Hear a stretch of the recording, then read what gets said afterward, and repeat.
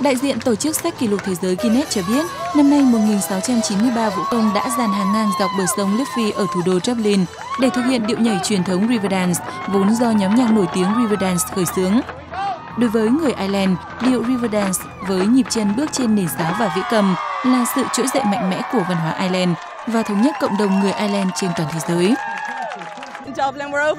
Thật tuyệt vời khi được ở đây ngày hôm nay. Với người Ireland chúng tôi, điệu nhảy Riverdance là một niềm tự hào dân tộc. Kỷ lục về số vũ công tham gia điệu nhảy Riverdance đồng nhất được thiết lập năm 2012, thuộc về Mỹ với 652 vũ công.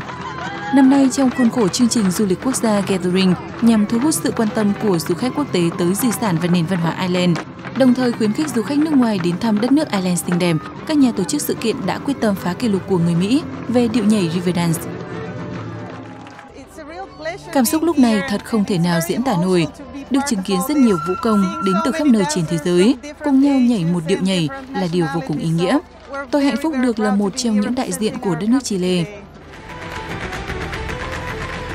Giám đốc dự án Gathering cho biết, lập được kỷ lục là điều khó tin đối với chương trình Gathering, nhóm nhạc Riverdance cũng như toàn thể người dân Ireland. Theo các nhà tổ chức, điệu nhảy Riverdance với hơn 1.600 vũ công tham gia đã trở thành một trong những sự kiện thú vị nhất của năm trên hòn đảo xinh đẹp này.